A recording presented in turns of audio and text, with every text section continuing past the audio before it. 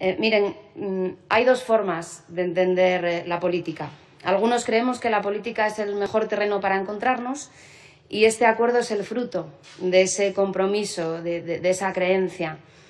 Otros creen que la política es solo un terreno para enfrentarnos.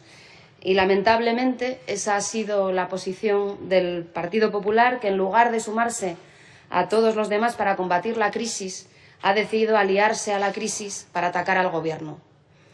Y les digo esto desde la preocupación de ver al líder de la oposición, al señor Casado, convertido en el pregonero del extremismo y de la confrontación, cuando lo que más necesita España, y así nos lo está reclamando toda la sociedad, es unidad, es diálogo y es entendimiento. El Partido Socialista ha sido capaz de llegar a acuerdos con prácticamente todos los grupos parlamentarios.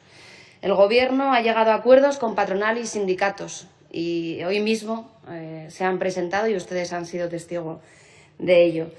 Nos hemos entendido también con el Partido Popular en comunidades autónomas y en ayuntamientos de toda España.